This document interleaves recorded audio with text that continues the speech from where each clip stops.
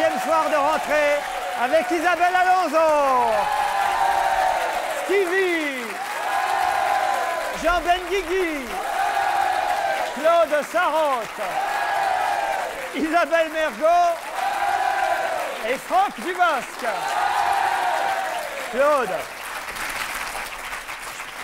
Je pensais, Claude, que vous alliez vous calmer quand même après deux saisons quasiment. Vous continuez à faire des gestes comme ça. C'est un, le don, je fais le don de ma personne. C'est vrai si Stevie, c'est Je extraordinaire. les aime, voilà. Justement, vous ne faites pas assez don de vous-même, Claude, parce que hier à France 2, ils m'ont dit Claude Sarraute est parti un peu tôt. Qu'est-ce que tu racontes? Bah, c'est qu'on va retourner aux 39 heures et il faut travailler un peu plus maintenant. Ah, Ça, c'est pas mal. ah non, il me l'a dit hier. Il m'a dit attention, autrement elle est virée. Non, mais c'est pas vrai. Je vous dis qu'il me l'a dit. Mais non, tu me taquines là. Ah oui, il me l'a dit. Mais non, mais je- c'est pas possible puisque je pars Mais en moi même temps que j'étais lui. là quand Mais il on lui a a tous dit. entendu. Il lui a dit Il lui a texto. dit un texto. Oui. Non, mais écoute, c'est incroyable. Mais il était devant lui. Il était a là Il était là. Et- mais c'est parce qu'il t'aime pas. Hein. Non, mais attends, je comprends pas, ça c'est quand même insensé. Je pars en même temps que tout le monde. Il, il ne t'aime pas, tu l'as fait chier pendant toutes les vacances. Mais qui c'est d'abord? Mon cul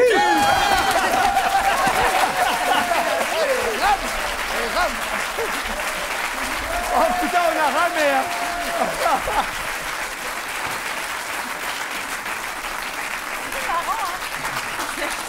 C'est drôle parce que la, la elle nous première, facilite pas la tâche. hein. la, la première question qui vient à l'esprit de tout le monde, et ben elle non, c'est euh. Mais Ah, qui vous êtes impayable. hein. Bah, C'est vrai que peut-être qu'elle en a pas vu depuis longtemps. Je voudrais signaler la nouvelle tenue de Stevie qui rivalise désormais avec les femmes de cette émission. faut bien dire. Si, parce que jusque-là, il y avait que vous qui reveniez à chaque fois avec des tenues très légères, très différentes, très. Eh ben non, bah, il y a de l'innovation, en plus c'est du fer, donc ça me... Comment ça, me- c'est du fer C'est du fil de fer. C'est du Mais fil oui, c'est un truc de métallo, ça se voit tout de suite. On est en 2002, faut quand même passer aux nouveaux matériaux. Ça, mais- Le fer maintenant pour les vêtements, c'est hyper tendance. mais ça fait hyper nana. Ouais.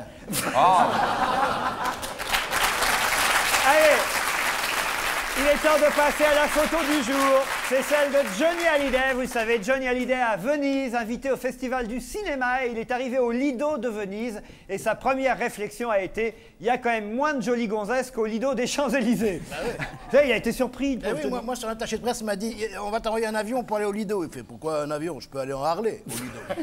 C'est qu'on lui a demandé quand il est arrivé là-bas s'il avait vu les gondoles. Il a répondu j'ai pas encore fait les magasins. Et, et les journalistes ont insisté, mais le Grand Canal, vous connaissez quand même. Et là il a dit ah oui, l'époque de Gildas de Cône, c'était une autre chose quand même. Alors évidemment, à un moment donné, un touriste a voulu demander à Johnny où était la place Saint-Marc. Il a répondu chez moi c'est sous l'évier. Enfin, bref, vraiment c'est pas possible. Johnny et Venise étaient faits pour se rencontrer puisque notre rocker national a conclu l'interview par cette phrase moi aussi j'ai des lagunes. Autre photo, mais c'est vrai, attention, c'est pour un film de Patrice Lecomte. Oui, avec Jean Rochefort. Avec Jean Qui est, Rochefort. paraît-il, très bon. Il a été acclamé hier soir à Venise. Il paraît qu'il risque d'obtenir, Johnny, le prix d'interprétation euh, masculine Ouais. à, à- à Venise. Non, franchement, c'est un bon comédien, C'est un Johnny. très bon. C'est un Eh type ben, formidable et je serais ravi qu'il ait ce prix d'interprétation. Autre photo, Jacques Chirac, toujours au sommet de la Terre, à Johannesburg. Son discours, vous le savez, sur les dangers de la pollution a marqué les esprits. Surtout quand il a dit la preuve qu'il faut agir vite. Il y a 15 ans, quand je venais en Afrique du Sud, je ne voyais que des blancs. Maintenant, ils sont tous noirs. Et c'est- vrai, ça a changé là-bas quand même. Ça a beaucoup changé, mais, mais il est formidable. Oui. Parce que là, maintenant, il est super écolo, super mondialiste, il a un nouvel emploi, et, et c'est pour ça qu'il fait carrière et qu'il fera encore longtemps carrière, il est prêt à tout dire. Voilà. Depuis, le président de la République est évidemment rentré à Paris, toujours avec Nicolas Hulot, même s'ils ont deux moyens de transport différents, Hulot et Chirac, puisque Hulot c'est l'ULM, alors que Chirac c'est l'UPM, l'Union pour la majorité. Euh, il va y retourner Où ça? Dans mon cul. Oh Ça marche avec qui, pas avec qui Hier, c'était aussi la rentrée des classes. Le ministre de l'Éducation nationale s'est rendu à Arras, dans un lycée d'enseignement professionnel. C'est un bon choix. Où, regardez sur cette photo, on apprend là-bas aux jeunes à être communistes. Et plus, plus je vois les photos de monsieur Luc Ferry se multiplier dans la presse, plus je dis qu'il me rappelle monsieur Dusnob dans L'île aux enfants. Regardez. C'est lui, il n'y a pas de doute. hein. Incroyable. Et puis moi, je suis le Raffarin, Patrick Le Semblant, là. avec les trucs là comme Ah, ça. ça, c'est pas Raffarin, c'est Casimir. Ah merde, j'ai pas mes lunettes, voilà, c'est ça qui est terrible. Mais je, je me demande si c'est pas le même quand même, non? Non. Il est beaucoup plus beau, il est beau, Luc Ferry. Claude, dès qu'il y a un ferry, elle est prête à monter dessus. Notre feuilleton quotidien maintenant, encore un nouveau fiancé pour Stéphanie de Monaco, Ah. le bûcheron de la principauté. Il est impeccable. Le prince régnier serait favorable au mariage avec le bûcheron parce que sa fille lui a vendu son nouveau fiancé comme étant le président de la Syrie.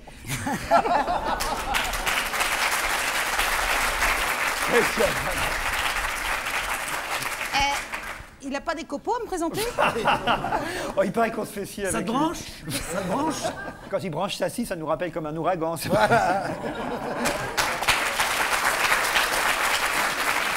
on va terminer par notre combat quotidien. 36e jour de détention à Bonneville, en Haute-Savoie, pour Edita Rumsas, la femme du cycliste qui a fini troisième du Tour de France. C'est quand même la première fois qu'un cycliste dopé est toujours en liberté alors que sa gourde est toujours en tôle. Isabelle, c'est dégueulasse, hein Prenez la défense de cette Ouais, dame. ouais, vous avez absolument raison d'attirer l'attention là-dessus. D'ailleurs, tous il les jours, on va en parler il y a- Il y une pétition libérée. qui circule pour sa libération. C'est la lettre de cachet, l'histoire de cette fille. Je signale qu'en plus, elle a trois enfants. Dans tout le scandale du dopage, elle, on la garde en tôle. C'est absolument scandaleux. Il faut la libérer tout de suite. C'est monstrueux cette histoire. faudrait qu'elle s'évade. Puis comme ça, son mari, ça lui ferait une échappée.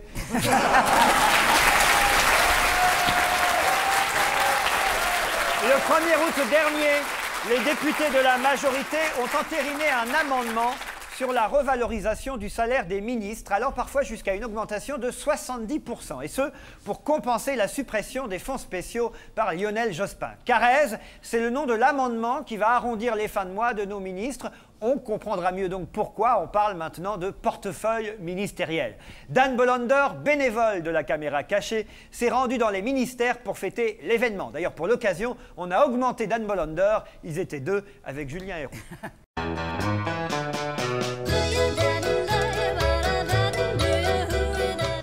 Bonjour, ici Dan Bolander. J'ai testé fêter l'augmentation des ministres. Champagne. Ministère de l'écologie.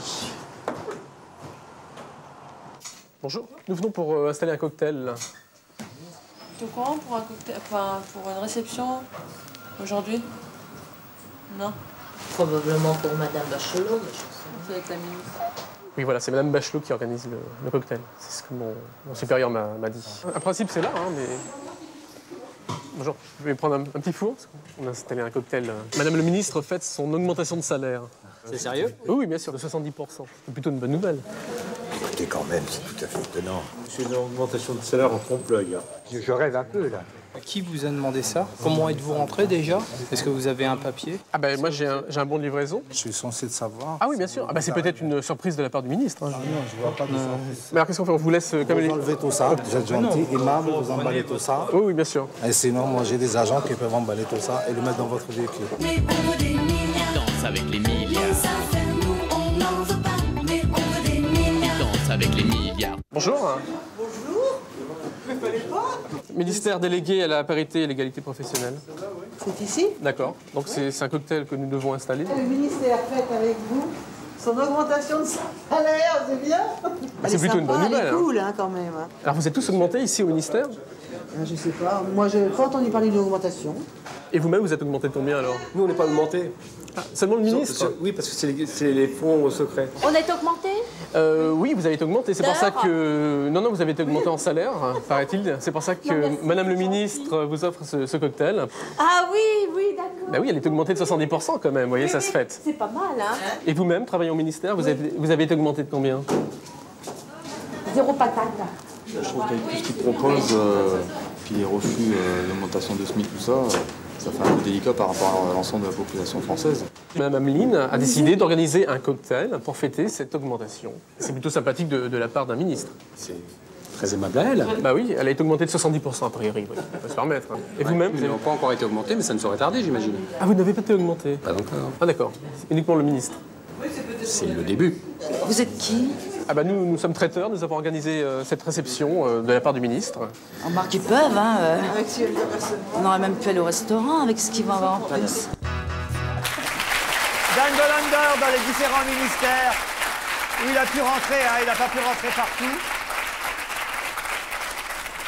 On va savoir tout de suite si Dan a pu rentrer au ministère de l'équipement, des transports, du logement, du tourisme et de la mer, puisque nous accueillons maintenant un ministre sur ce plateau, le ministre de l'équipement, du tourisme, des transports, du logement et de la mer. Ça fait beaucoup pour un seul homme, mais c'est monsieur Gilles de Robien.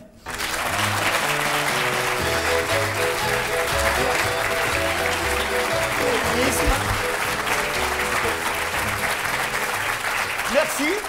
Y a pas de quoi. Honoré d'avoir euh, euh, sur ce plateau un ministre. Merci d'avoir accepté notre invitation. Ah, vous Merci allez- de m'avoir invité. Vous allez pouvoir ainsi expliquer aux Français, c'est vrai qu'ils lisent les journaux et tous les journaux en parlent depuis maintenant plusieurs semaines, qu'ils lisent que les ministres ont été augmentés et qu'ils veulent savoir pourquoi. Alors, Bah, si j'ai sourire, ce n'est pas parce que j'ai été augmenté, ou comme les ministres ont été augmentés, c'est simplement parce que je suis avec vous. Et je voulais vous dire, et je voulais vous dire que les ministres n'ont pas été augmentés. alors racontez. Si on fait, euh, tout simplement parce qu'auparavant, les ministres avaient un salaire déclaré avec une feuille de salaire de l'ordre de allez, 45 000 francs, à 1000 francs près, si vous voulez bien, parce que je ne connais pas exactement les chiffres. Moi j'ai 51 000 Et- francs. Alors Euh, 51 000 7 francs. 800 euros. Alors 7 800 euros. Et ils avaient des enveloppes en liquide qui leur étaient distribuées tous les mois par Matignon. Et de ces enveloppes, ils en distribuaient une partie à leurs collaborateurs. Et ils se gardaient ce qu'ils voulaient. Et certains gardaient autant que ce qu'ils avaient déjà sur leur feuille de salaire, c'est-à-dire qu'ils doublaient. Et aujourd'hui, on a tout déclaré, ce qui fait moins, et en plus fiscalisé, ce qui euh, restitue un peu d'argent à l'État. Alors, ceci dit, évidemment, je ne suis pas ici pour me plaindre, je suis ici pour expliquer la- et, et dire ma vérité. En, gros, pour les ministres, ce sera à peu près la même somme qu'avant. Non, ça sera la même somme que- qu'avant, sauf qu'on paye maintenant des impôts. Est-ce que Jospin n'avait pas supprimé les fonds spéciaux et donc les ministres socialistes du dernier gouvernement n'avaient pas ces fonds Alors spéciaux justement, Donc merci. il y a bel et bien une augmentation. Attendez, alors ça c'est très intéressant la question. Parce que M. Jospin a attendu 5 ans pour supprimer les fonds spéciaux quand il était en fin de législature, c'est-à-dire qu'il s'est servi de fonds spéciaux en les distribuant aux ministres jusqu'à la fin de la législature. C'était dans un grand journal du soir euh, lundi dernier encore. Et, Le euh, Monde, pour ne pas le citer. Eh oui. Le Monde. Il a supprimé les fonds spéciaux quand il a quitté le gouvernement et il nous a laissé le soin de réajuster les salaires. Mme Bachelot se fait épingler par le canard enchaîné parce que elle, euh, son moyen de défense, c'est de dire maintenant, on va être imposé, on va payer 60%. Or, évidemment, le canard, finement, euh, rappelle que personne n'est imposé à 60%. On entend d'ailleurs pas seulement les ministres, mais beaucoup d'artistes dire souvent ça. C'est entièrement faux. On paye évidemment au maximum 52% sur la, la tranche, et jamais sur le salaire. On paye jamais euh, la moitié de, de son salaire d'impôt. C'est bon de le rappeler. Oui, vous avez complètement raison. Je n'ai rien à rajouter. Vous pourriez être ministre des Finances. Merci. Oh là là Mais, attendez que je calcule je suis, en train, attendez, je suis en train de calculer si c'est intéressant pour moi. c'est pas Tiens, sûr. Parlons un peu du salaire de ceux qui Ne sont autour pas de la ça, table. jamais. Là où il y a un petit peu d'abus, si je peux me permettre, monsieur le ministre, c'est le système de rétroactivité. Quand même, que les ministres soient euh, augmentés à partir de fin septembre, normal, mais en plus qu'on euh, aille rétroactivement les augmenter depuis le mois de mai dernier, parce que euh, effectivement ils sont en poste depuis le mois de mai, là c'est un peu abusé, non? Moi, je trouve que c'est une bonne mesure. Moi, je trouve non, je suis pas d'accord. Pas d'accord Moi, je trouve que c'est une, très bonne mesure qui peut servir d'exemple parce que quand on réaugmentera le SMIC, il y aura aussi rétroactivité. C'est- c'est bien. Avouez que c'est assez indéfendable, ça. De toute façon, j'ai bien conscience que ça fait beaucoup d'argent. Ça fait 10 fois le SMIC. hein, il faut être honnête. Ça fait 10 ou 11 fois le SMIC. Mais ça fait 100 fois moins que le salaire de Ronaldo. Sans parler des retombées commerciales.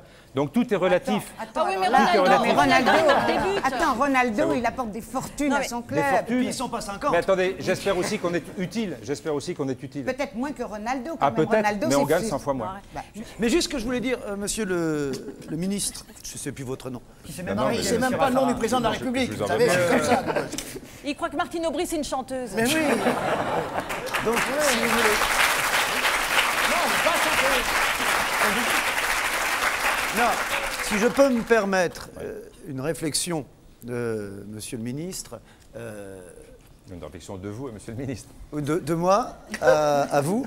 euh, Il ne sera pas augmenté, je vous rassure. je n'aime pas votre cravate. Mais je peux, mais je peux l'enlever. L'enlever. Ça va mieux? Non il y, il y connaît rien, vous êtes superbe avec votre cravate. Alors, je peux la remettre. Ah, mais ouais. Il fait ce qu'on veut Laissez le faire tout seul. hein. Essayez de mettre la vôtre déjà.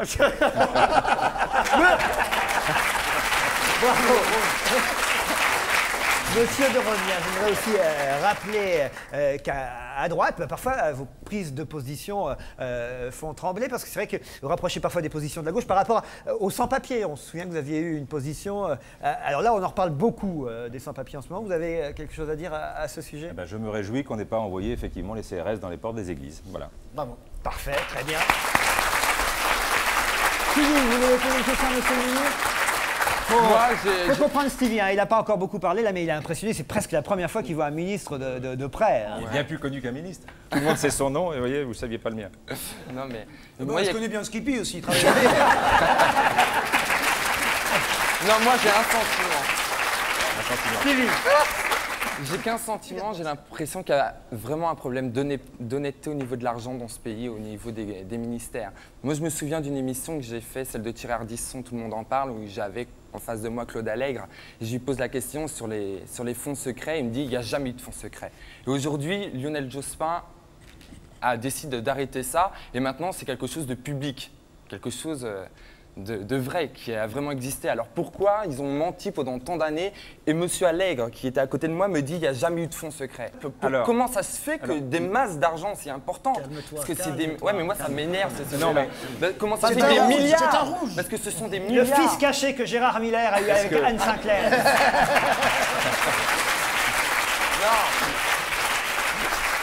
Et maintenant, moi, vous devez être satisfait parce qu'il y a plus de transparence. J'aurais pu vous amener ma feuille de salaire, encore qu'il n'y a pas encore l'augmentation dessus, mais ça sera au mois de septembre. Et donc j'aurais pu. C'est transparent et on gagne ça et on gagne, je vais dire que ça. Euh, c'est notre vrai salaire. Avant, on aurait pu vous apporter une feuille de salaire et oublier de dire qu'on avait des enveloppes euh, ou qu'ils avaient des enveloppes à hauteur de plusieurs dizaines de milliers de francs à l'époque. Bon, bah, maintenant, c'est transparent. C'est un progrès. Stevie va être content. Stevie, fait. il- Stevie va être ravi parce qu'il adore ce qui est transparent. Il est comme. Moi, j'ai une question. Monsieur le ministre, Monsieur Gilles de Robien, on vous remercie. Vous avez eu la gentillesse d'accepter notre invitation. Ça a permis aussi d'expliquer aux téléspectateurs français qui nous regardent eh bien, euh, toute cette histoire de l'augmentation des ministres. Après, chacun pense ce qu'il veut, mais au moins on aura été précis, je l'espère, euh, clair. Et puis moi, j'étais fier de vous recevoir. Ah ben, c'est réciproque. Merci beaucoup. Merci.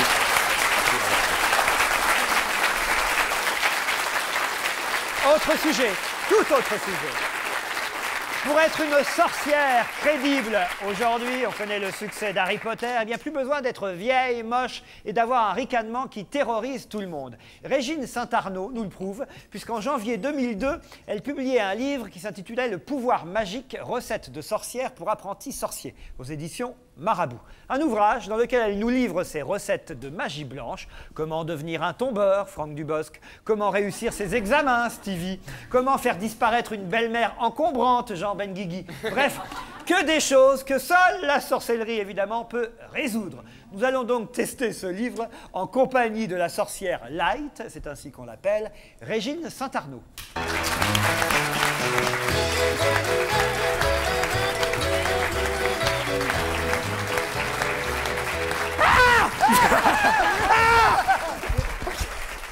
Vous êtes charmante pour une sorcière. Oui, c'est vrai, merci, c'est gentil, Laurent. On s'attend Va dans le métro, sac à glace.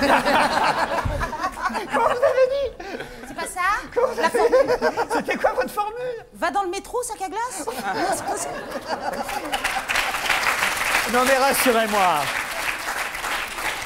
Rassurez-moi, Régine Saint-Arnaud, pour qu'on vous ait laissé publier Le pouvoir magique chez Marabout, c'est quand même une, édition, une maison d'édition euh, intéressante et importante, c'est que vous êtes euh, une sorcière, une gentille sorcière. Ah oui, oui, bien sûr, absolument. Il n'y a pas de problème. Alors évidemment, il faut, qu'on- faut- Vous remuez le nez? Non, j'ai essayé, mais ça m'a été déconseillé par. Et vous l'avez déjà rencontré? Dites-moi qui.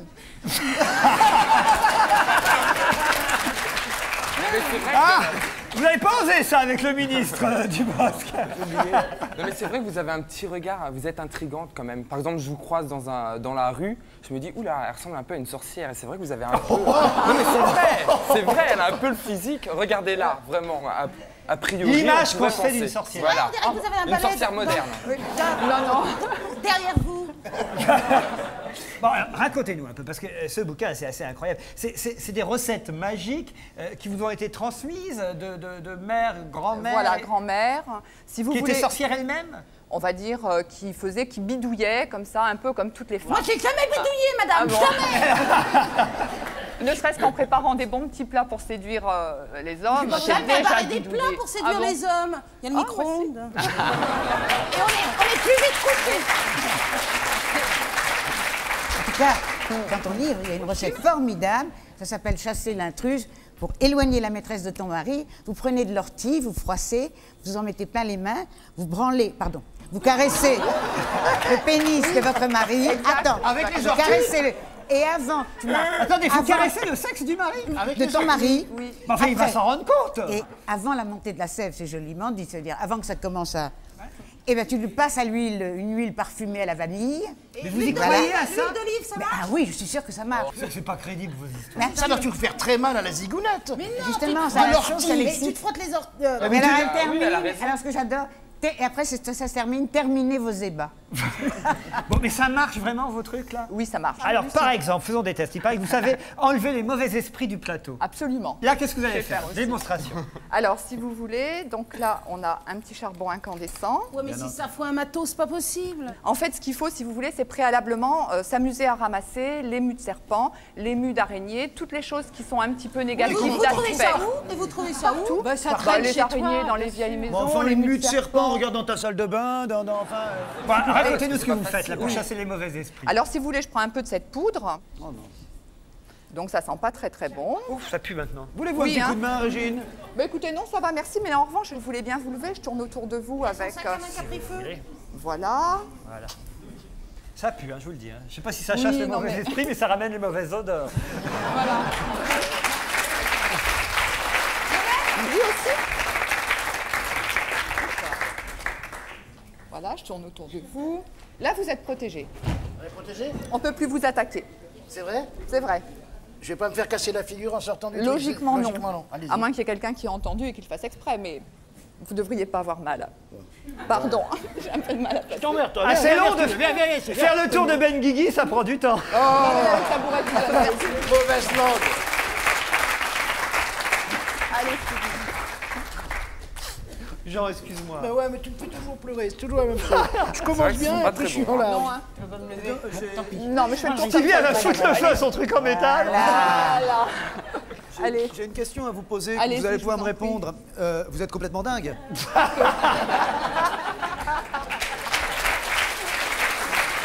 Bon, alors là, disons, admettons. hein, admettons que les mauvais esprits soient chassés. Il paraît que vous pouvez aussi réconcilier des gens qui ne s'entendent pas. Alors, Oui. j'ai ici la photo de Gérard Miller et celle de Michel Drucker. vous êtes capable de les réconcilier, Miller et Drucker? Euh, disons que je peux édulcorer leur rapport. Il faut les Alors, photos des deux donne leurs deux personnes. photos, Merci voilà. beaucoup. Alors on les scotche. Mais alors, ça veut dire logique. que dans 15 jours, on pourra lire que Gérard Bah. Miller et Michel Drucker sont réconciliés. Pas tout à fait dans 15 jours. T'imagines le scoop, c'est que là, Drucker et Miller euh, débarquent ensemble.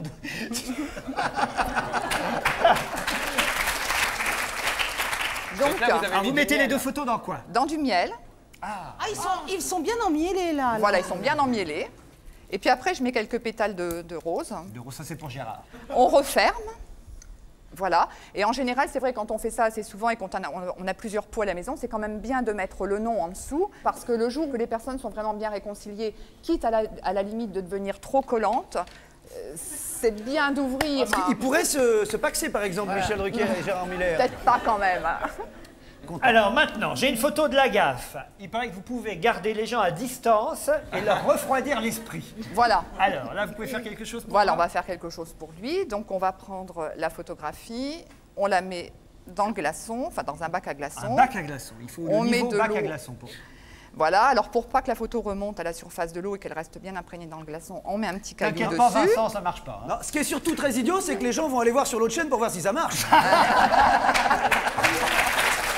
Bon, enfin, c'est un peu vite T'as raison. Imagine qu'il y a un écran de pub à ce moment-là, ils vont dire ça marche. Voilà, ensuite on va le mettre dans, euh, dans Restez, le congélateur. Voilà. Alors on attend que ça prenne. Il y a et des gens qui vous croient, Régine Saint-Arnaud. Oui, mais je me crois moi-même aussi. Non, c'est de l'humour, c'est ça qui est bien. Alors, acheter, c'est sympa, c'est un livre qui est bien convivial et. euh, Convivial Oui, convivial. Ah, écoutez, c'est un mot qu'il a appris hier. Mais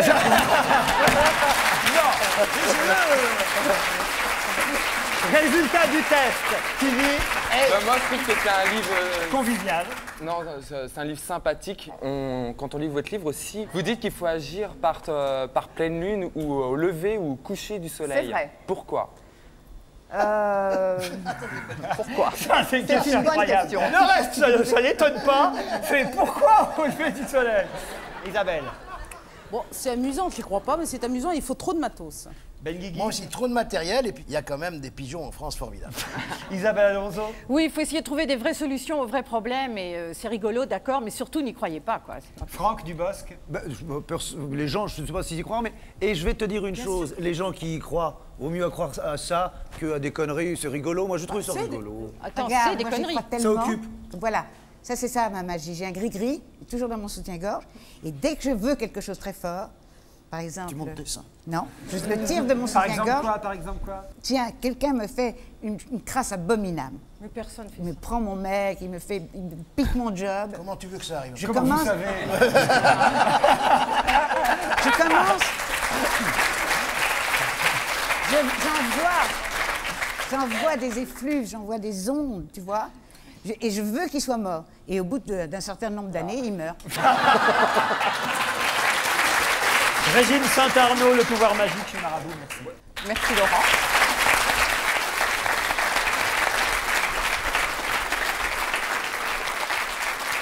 La semaine dernière, on va parler bouquins. La semaine dernière sortait en librairie One Man Show, entre autres livres de la rentrée. One Man Show, c'est aux éditions POL, le troisième roman de Nicolas Fargue qui raconte l'histoire d'un écrivain narcissique et prétentieux qui ne résiste pas à l'appel de la télévision et à ses paillettes. Rien à voir avec Gérard Miller, il n'est pas écrivain, il est psy. Éditeur, producteur, personnalité du showbiz, l'auteur critique avec humour et cynisme ce milieu qui le fait pourtant vivre. On a reçu ici souvent plusieurs auteurs de One Man Show, sauf que ce One Man Show-là, c'est un bouquin. En voici l'auteur, Nicolas Fargue.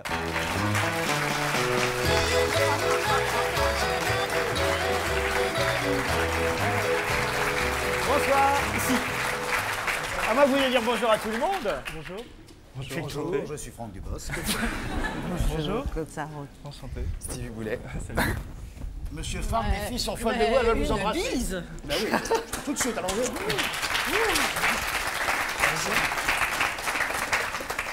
Je vous signale, les filles, il est marié, il a des enfants.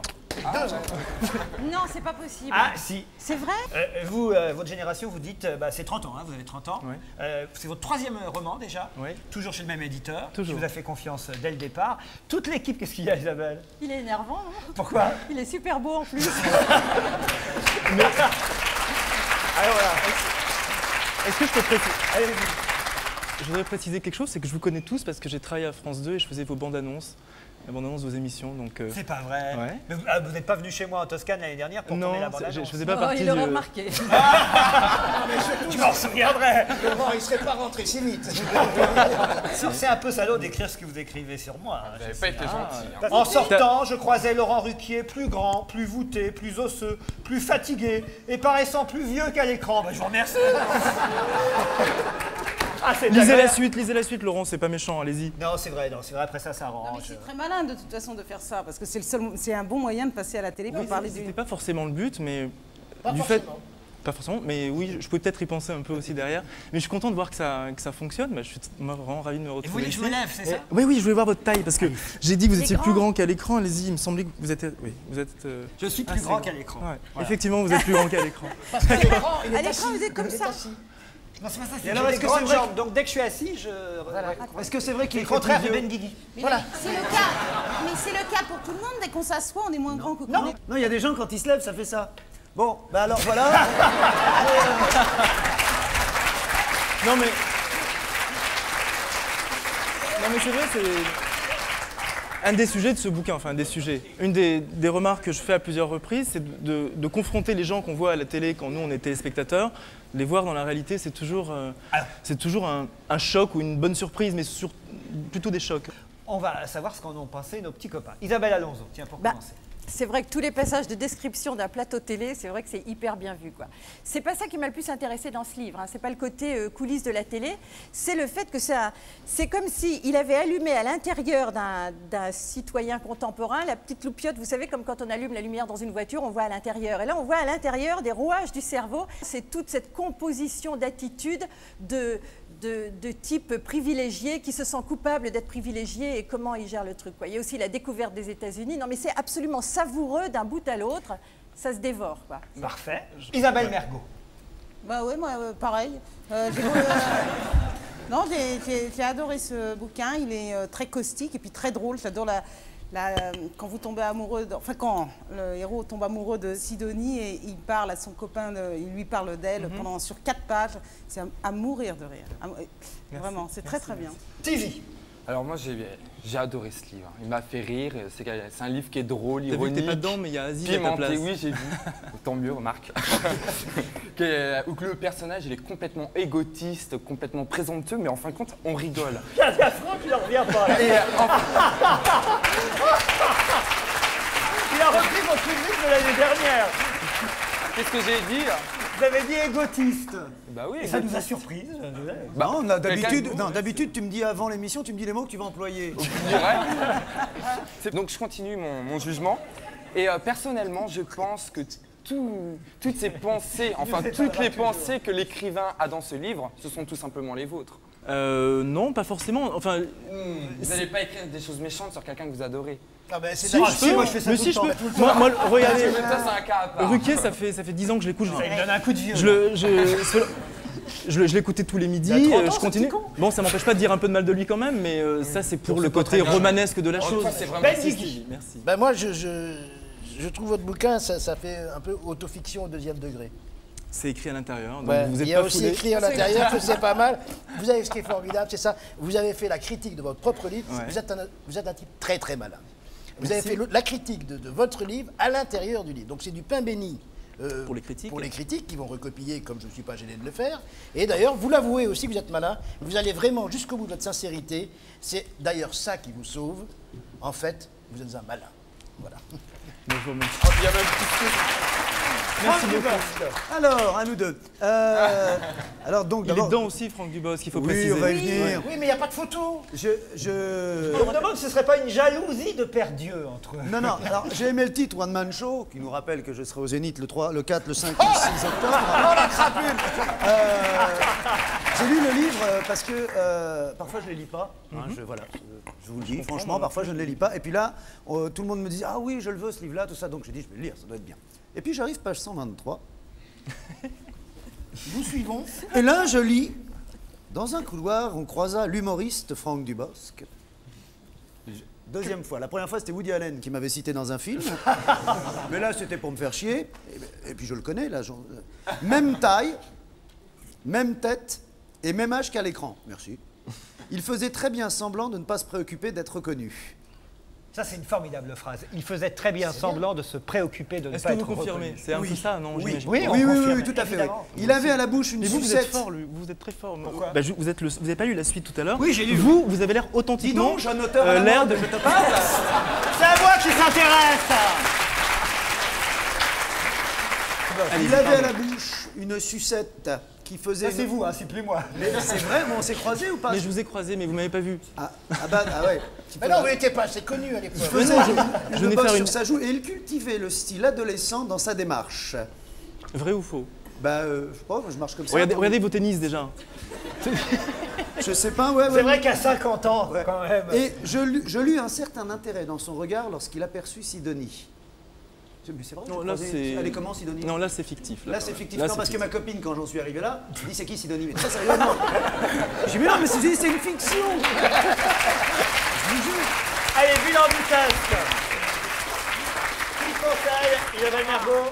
Deux, deux fois. Ah ouais, c'est un livre formidable. Vraiment, Formidable. vraiment formidable. Alonso. Ah oui, oui, moi aussi, absolument. Sylvie. À mon avis, ça sera l'unanimité. hein. Ah oui, oui, complètement d'accord. Très bien. Bah, j'ai lu le passage sur moi, donc, euh, Allez, moi aussi, je le conseille. Merci beaucoup. Merci. Nicolas Farge.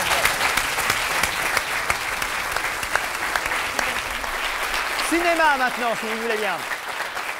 Dès aujourd'hui, partout en France, Vous pourrez voir dans les salles de cinéma autour de Lucie, un film de John Sherman présenté au Festival du film américain de Deauville en avant-première, c'était samedi soir dernier je crois. Un film avec Monica Potter et David Boreanaz. David Boreanaz, pour ceux qui ne le sauraient pas, c'est le héros de Buffy contre les vampires. C'est Angel, je crois, dans la série.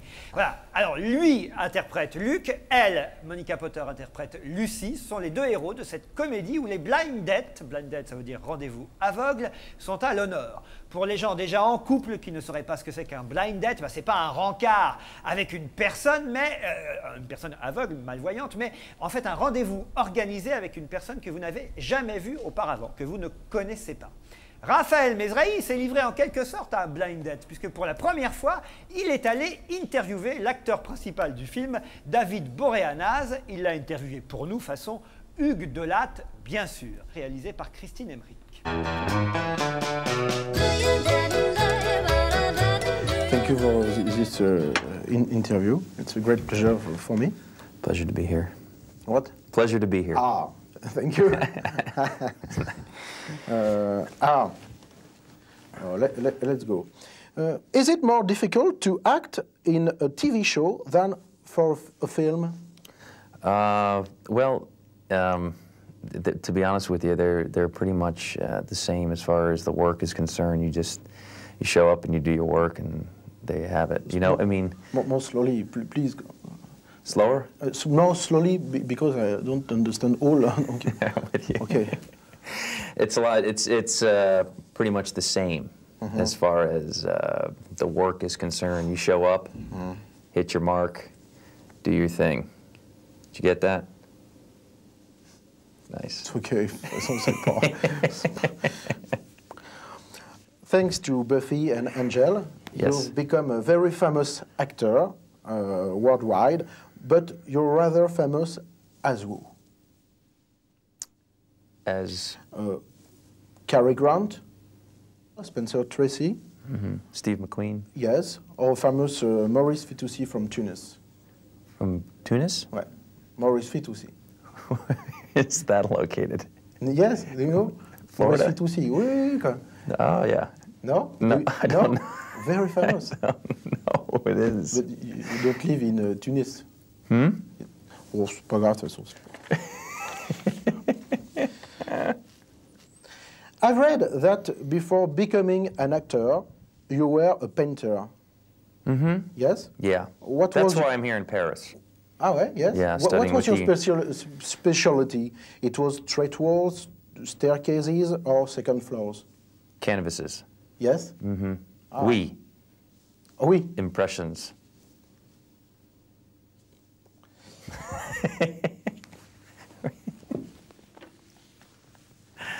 Ça, ça va. Alors, famous French performers, Stone and Chardin, sang There is sun over France and the rest doesn't matter. That's it. Okay. Voilà, for your Voilà. culture.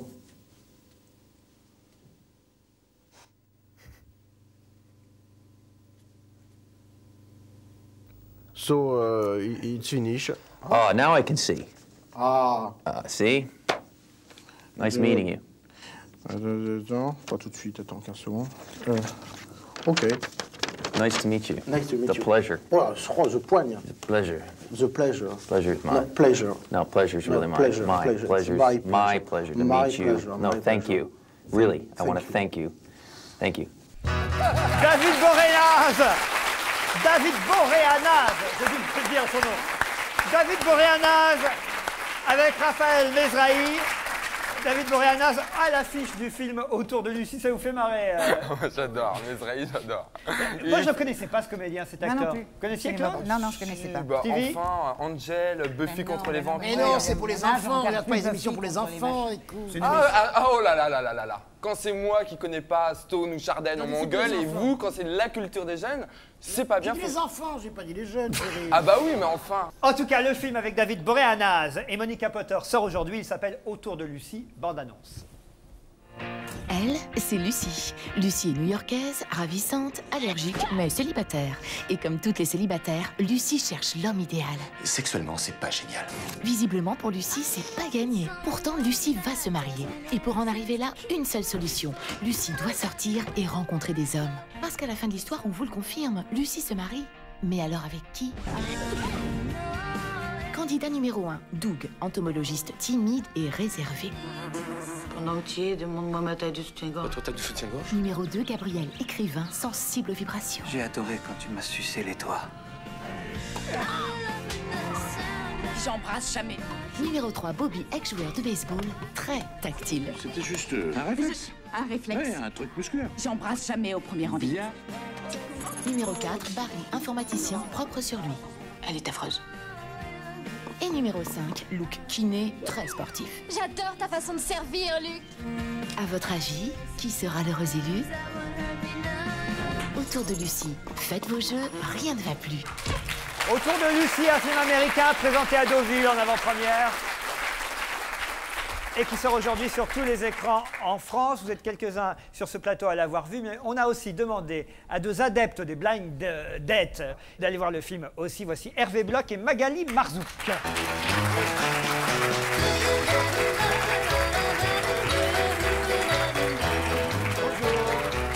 Bonjour, bienvenue. Vous êtes donc célibataires tous les deux Célibataires tous les deux. et, et pour rencontrer quelqu'un, vous faites souvent des blind dates, des rendez-vous aveugles. Exactement. Et alors, vous avez rencontré des gens intéressants déjà? Euh, moi, j'ai déjà fait deux ou trois fois et toutes les personnes que j'ai revues, que j'avais coché oui et qui ont dit oui aussi, parce que ça doit être évidemment réciproque, euh, c'est devenu des. Ah, vous êtes obligé de cocher pour les revoir? Voilà. Il y a un mot d'ordre, Euh, c'est cochon. Cochon, voilà. Exactement. Franck Dubosc, vous voulez essayer un blind date c'est-à-dire, je- je- le blind date, ça veut bien dire rendez-vous aveugle. Et alors, euh, avec euh, Isabelle, on en a un petit peu parlé, puis on s'est penché sur la question d'un rendez-vous aveugle. d'aveugle. Avec des vrais non-voyants Avec des aveugles, comment ça pouvait, euh, ce que ça pouvait rendre. Alors, nous avons écrit un petit sketch, Isabelle et moi, et que nous allons vous présenter. C'est la rencontre aveugle de d'Annick et de Jean-Pierre. Je vais vous demander de vous déplacer.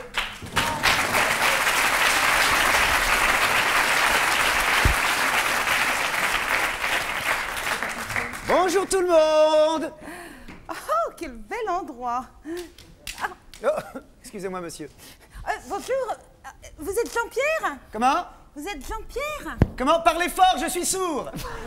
Vous êtes Jean-Pierre? Non, pas du tout, je suis Jean-Pierre. Moi, je suis Annick. Pas tout de suite. Buvons un verre avant. Ah, je suis contente de vous voir On s'assoit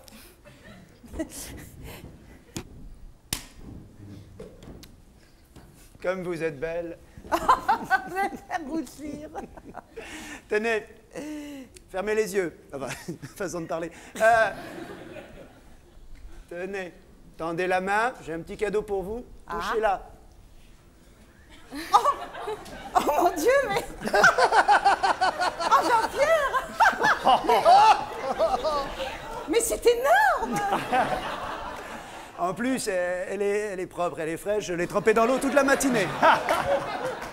Mais n'ayez pas peur, Annick. Sentez-la. Oh, Je vous crois Comme vous êtes mignonne, vous avez la peau douce. Ah, vous n'êtes pas en face de moi, Annick. Oh, oh mon Dieu, c'est, c'est ridicule Nous sommes idiots. Nous nous sommes trompés de taille, tout simplement. C'est très drôle. Alors, Annick, bon, ah, ah ben, vous êtes parti, Annick? Mais non, je suis là Mais oh, vous avez, vous avez bougé, vous aussi Ah, je suis bête Ne bougez plus, je, je viens. Je viens. Voilà, je viens. Oh, déjà Bon, écoutez, maintenant qu'on se connaît bien, Annick, euh, Oui. si nous passions aux choses sérieuses, Oui. on va chez moi, Oh, mais oui, avec plaisir. nous allons tamiser la lumière. Écoutez de la musique. Comment? Non, rien. Bon, allez, on y va Je vous suis. Ne faites pas attention au bordel, hein, c'est pas rangé, s'il vous plaît, Annick. Date On est con Oh, je sais, je sais. On va recevoir du courrier, euh, non pas des non-voyants eux-mêmes, mais toujours des amis de non-voyants qui vont dire Ah là, là, vous n'auriez pas dû et tout ça, mais des non-voyants qui nous regardent, parce que euh, c'est quoi à dire, mais ils nous regardent et ils regardent la télévision, ils sont nombreux à nous regarder. Eux ont de l'humour là-dessus, ce sont les premiers à, à plaisanter avec ça. Alors, ah, ça va pour le courrier. C'était un blind date. On C'était appelle- au nom de l'amour. On appelle ça un rendez-vous aveugle et j'ai trouvé ce sketch très drôle. Bravo Ah Franck, bravo Isabelle. Magali, Hervé, on va vous souhaiter de rencontrer euh, l'âme sœur. euh, Peut-être, euh, qui sait, en retournant voir autour de Lucie au cinéma. Puisque les célibataires vont aller nombreux, euh, j'imagine, voir ce film, ce sera peut-être l'occasion de draguer dans la salle de cinéma. Oh, une dernière question. Est-ce que ça pourrait arriver dans un speed dating? Vous êtes avec quelqu'un avec qui vous avez combien? 7 minutes? 7 minutes. Et puis que vous, vous êtes en face, il y a le coup de foudre et que vous dites 2 minutes. Vous dites Je m'en fous des 7 minutes, on part tous les deux. Ah, mais c'est de je pense l'argent que je jeté pourrais par le les faire. fenêtres. Ah ouais, Je pense que je pourrais le faire. Magali et Hervé, merci, Merci beaucoup. beaucoup.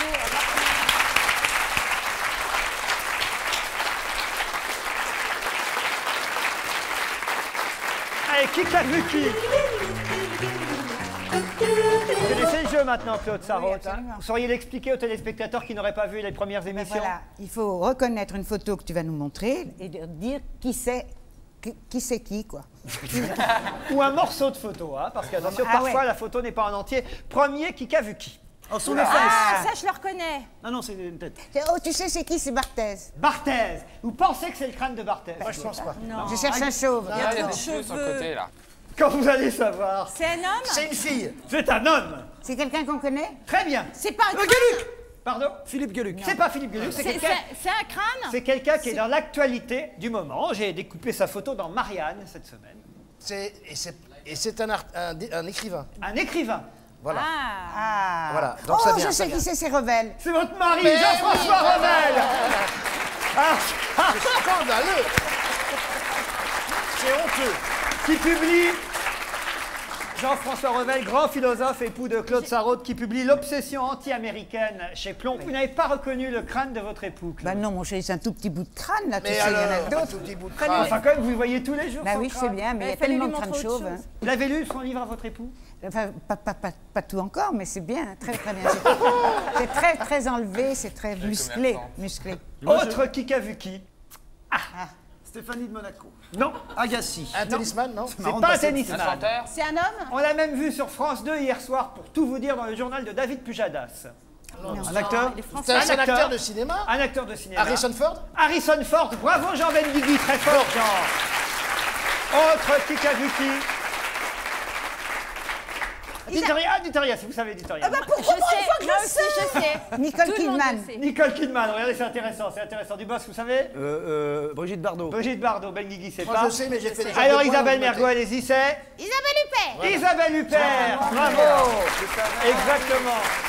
Ah, vous l'avez pas reconnu, hein C'est étonnant, hein Elle est belle, est Isabelle Huppert, dans un film qui sort aujourd'hui, un film d'Olivier Dahan qui s'appelle La vie promise. C'est bien ça, j'espère que je me trompe pas de Qui a titre. l'air très bien Euh, comme film. Pardon Qui a l'air très bien. d'un- Je l'ai vu, c'est un run movie, c'est assez lent évidemment, mais c'est assez beau, euh, esthétiquement parlant. Et elle, évidemment, En tout cas, elle est superbe. hein. Isabelle Huppert est superbe. Super, dans- mais grande actrice.